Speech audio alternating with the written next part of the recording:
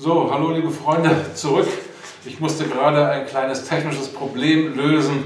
Ähm, all diese Technik die treibt mich in den Wahnsinn. Aber naja, jedenfalls stehen geblieben war ich ähm, bei Akbar. Akbar, der also wirklich ein sehr weiser Herrscher und toleranter Herrscher war, hatte wie gesagt ähm, Hindu-Beamte eingestellt und er ordnete die Steuern neu. Ähm, die Bauern mussten nun ähm, Steuern in Geld bezahlen und wenn das Heer von Akbar durchzog und bei den Bauern Vorräte beschlagnahmte, so wurden auch diese Bauern wiederum vom Staat mit Geld ähm, entschädigt. Also die Geldwirtschaft führte er letztlich ein in Nordindien und er war ein Förderer von Kunstliteratur. Er selber allerdings konnte weder lesen noch schreiben, er war ein ähm, Analphabet.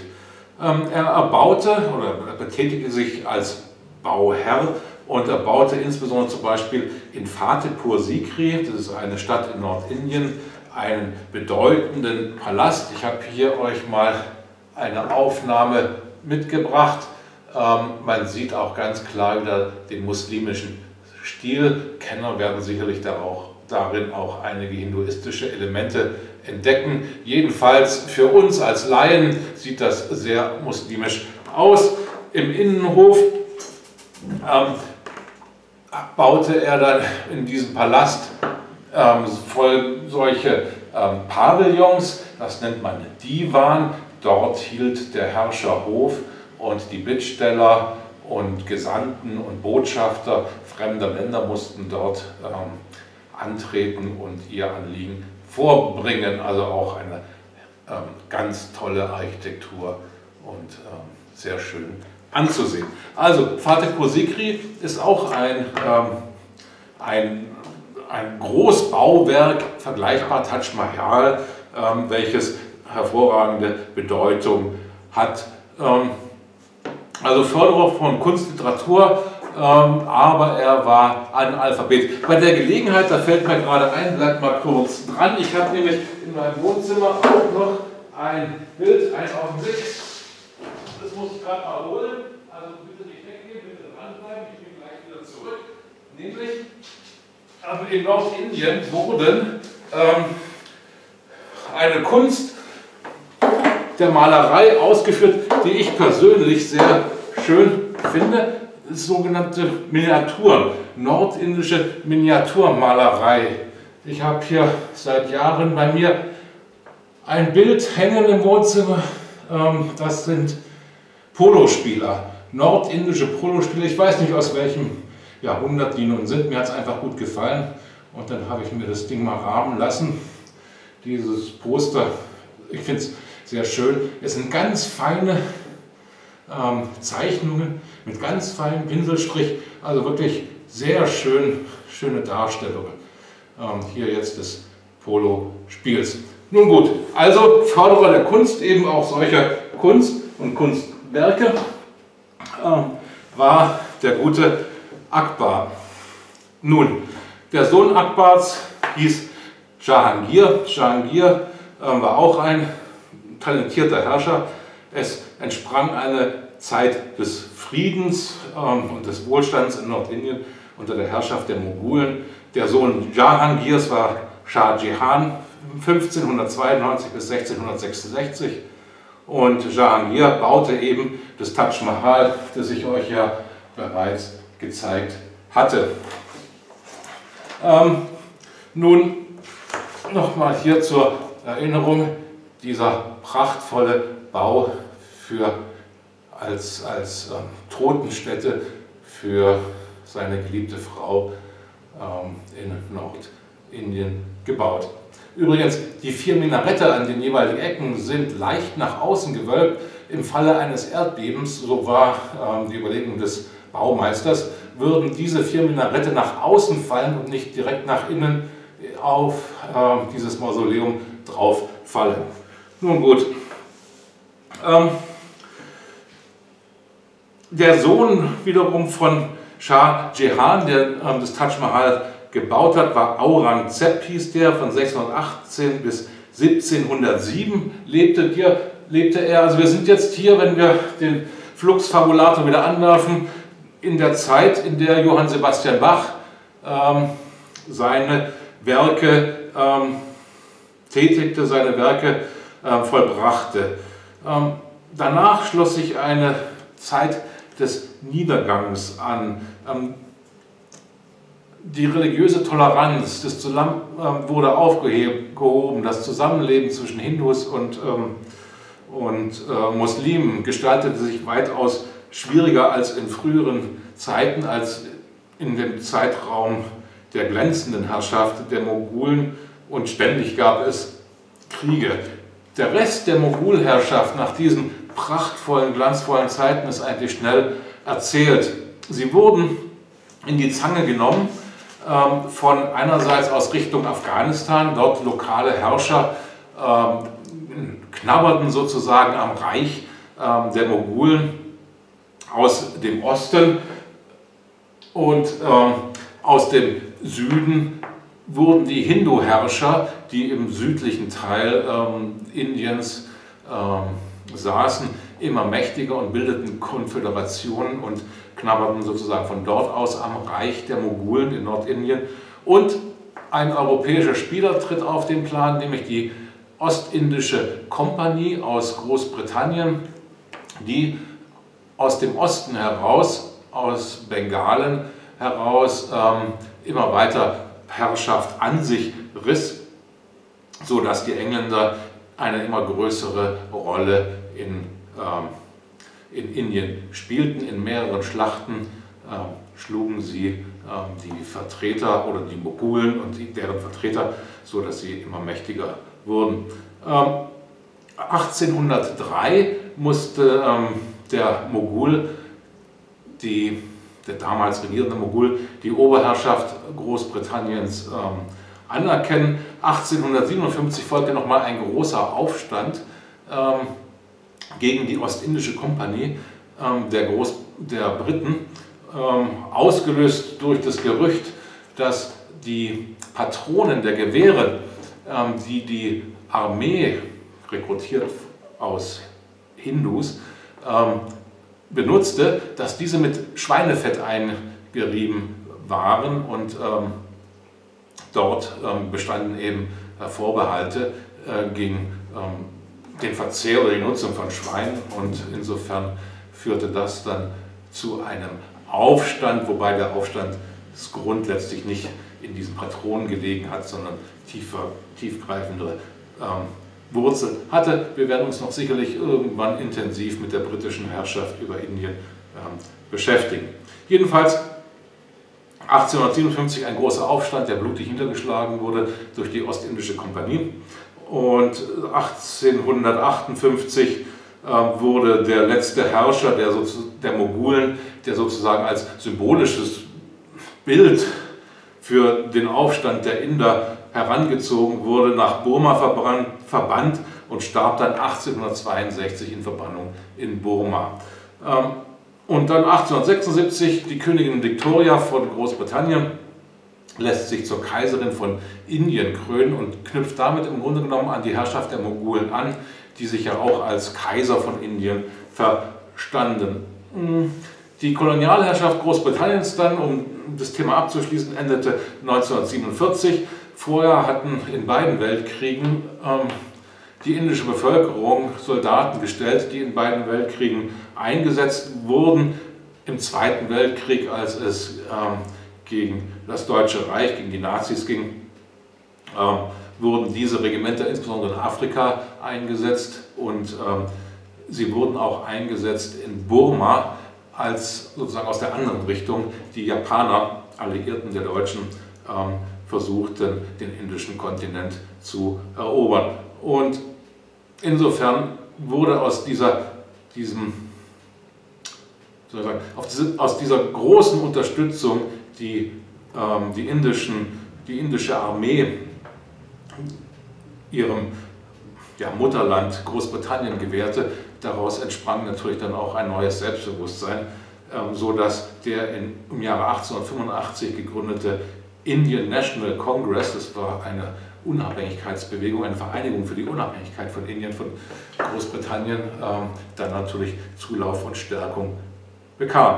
Mahatma Gandhi kennt man oder hat man schon mal gehört, ist eben die Führungsfigur und unter ihm verbanden sich im Grunde genommen zwei Vertreter. Einmal Nehru, so hieß der, der war sozusagen für die hinduistische Bevölkerungsgruppe zuständig und Ali Jinnah, das war der Vertreter der sogenannten Moslem-Liga, der war zuständig oder vertrat die muslimische Bevölkerungsgruppe in Indien. Und man trat dann nach dem Ende des Zweiten Weltkriegs in die Verhandlungen ein, 1945, 1946, über die Unabhängigkeit Großbritanniens. Und zwischenzeitlich war allerdings leider eine Entfremdung zwischen den Bevölkerungsteilen und ihren Vertretern aufgetreten. Also die Hindus mochten die Muslime plötzlich nicht mehr und die Muslime nicht mehr die Hindus. Und ähm, Mahatma Gandhi gewissermaßen als große moralische Instanz schwebend über den religiösen Parteien ähm, war leider nicht in der Lage, diesen Riss zu kitten. Jedenfalls 1948 wurde Lord Mountbatten ähm, aus Großbritannien zuständig für die Organisation der Unabhängigkeit Groß, ähm, Indiens von Großbritannien. Und dieser Lord Mountbatten, ähm, der sagt einfach, lass uns doch die ganze Geschichte ähm, ein halbes Jahr vorziehen, nämlich auf 1947. Und in einer halsbrecherischen Geschwindigkeit ähm, ziehen sich die Briten aus Indien zurück und hinterlassen im Grunde genommen ein relatives Chaos. Andererseits muss man natürlich auch sagen, dass es den indischen Freiheitskämpfern nicht schnell genug gehen konnte, dass ähm, Großbritannien ähm, Indien verlässt. Und jedenfalls kam es sehr überstürzt und es kam dann in Nordindien zu grauenhaften Gewaltorgien. Ähm, Muslime schlugen auf Hindus ein, Hindus schlugen auf Muslime ein. Und es kam zu Flüchtlingsströmen in verschiedene Richtungen, nämlich der Plan sah vor für die ähm, Unabhängigkeit ähm, Indiens, dass ein eigener muslimischer Staat gebildet wird auf, wie soll ich sagen, gesamtindischem Grund. Und zwar, wenn wir uns hier die Karte wieder vornehmen, wir haben hier das Dreieck Indien. Im Norden war ja dieses, waren ja diese Muslime stark vertreten, also sagte man, äh, westlich des Indus machen wir einen eigenen muslimischen Staat, dessen Staatsteil aber auch im Osten, ich glaube im Ausfluss des Brahmaputra, ähm, auch ein eigenes Staatsgebiet erhält. Also wurde Pakistan sozusagen mit der Unabhängigkeit Indiens gegründet, bestehend aus zwei voneinander getrennten Staatsteilen, einmal ähm, östlich, äh, westlich des Indus und einmal ähm, östlich ähm, des indischen Subkontinents. Und ähm, daraus, aus diesem östlichen Teil, wurde später dann, als es sich wiederum selbst von Pakistan löste, Bangladesch. Ähm, jedenfalls, hier kam es zu grauenhaften, ähm, grauenhaften Gemetzel, weil natürlich hier die Hindus in den indischen Staat überwechselten und die Mosleme aus dem indischen Staat nach Pakistan. Und dabei müssen wohl wirklich ungeheuerliche ähm, ähm, Gemetzel und, und, und ähm, Abschlachtereien ähm, stattgefunden haben. Die Toten gehen in die Millionen. Und das ist im Grunde genommen ähm, auch noch heute ein Problem ähm, zwischen Indien und Pakistan. Ich habe euch hier mal mitgebracht ein Video von der ähm, Grenze zwischen Pakistan und Indien.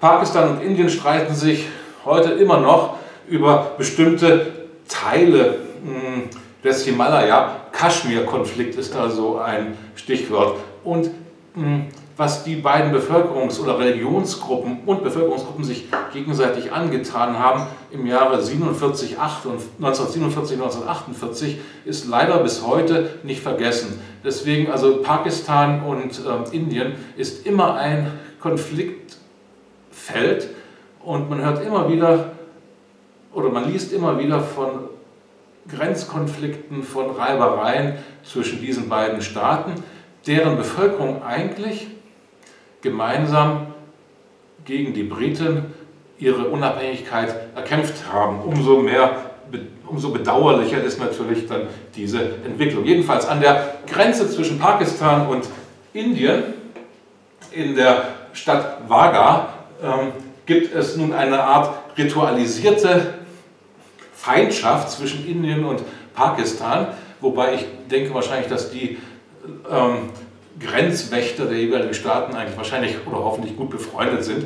Es wird jedenfalls eine Riesenshow abgezogen ähm, mit nationalistischen Untertönen. Also jeder Staat plustert sich an dieser Grenze auf. Eine große Straße, die, eine Verbindungsstraße zwischen Pakistan und Indien wird da jede Nacht geschlossen und am nächsten Tag wieder geöffnet unter großem Trara. Und ich will euch hier jetzt mal, mal darstellen, wie das abläuft.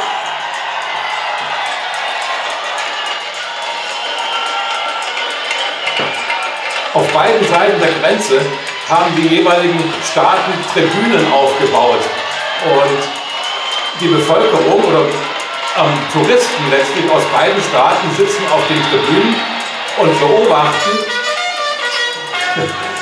beobachten, wie die Soldaten auf beiden Seiten ein riesiges Spektakel ähm, vollführen und aufeinander zumarschieren, wild die Augen rollen und ähm, ein irres Theater aufführen.